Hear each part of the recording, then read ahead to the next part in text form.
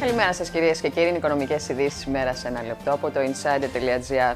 Ο τρόπος με τον οποίο θα προχωρήσει η πλήρης άρση των capital controls, δηλαδή η μεταφορά κεφαλαίων προς το εξωτερικό, θα εξεταστεί σήμερα Παρασκευή σε συνάντηση που θα έχει ο διοικητής της Τράπεζας της Ελλάδος, Γιάννης Τουρνάρας, με τους επικεφαλείς των ελληνικών τραπεζών. Ο πυλώνας που αφορά στη μεταφορά κεφαλαίων στο εξωτερικό είναι το τελευταίο σκέλος των περιορισμών που θα αρθεί δεδομένου ότι η χαλάρωσή του συνδέεται στενά με την αποκατάσταση της πρόσβασης της χώρας στις χρηματοπιστωτικές αγορές.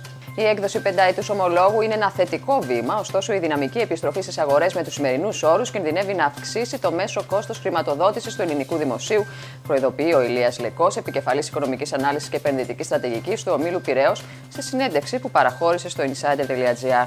Όσον αφορά στην αύξηση του κατώτατου μισθού, αντιλαμβάνεται ότι είναι αναγκαία μια αύξηση μετά την βίαιη διόρθωση την περίοδο της κρίσης, αλλά διαρωτάται κατά πόσο έγινε κάποια σοβαρή συζήτηση που κατέληξε στο συμπέρασμα ότι το 11% είναι μια αύξηση στην οποία μπορεί να διαχειριστεί η ελληνική οικονομία.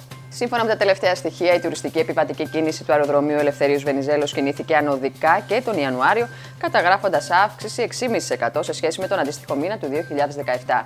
Τα θετικά πρόσωπα της επισκεψιμότητας όμως δεν ακολούθησαν οι διανυκτερεύσεις των ξενοδοχείων, γεγονός που υπογραμμίζει την επικράτηση της Airbnb στην οικονομία της φιλοξενίας.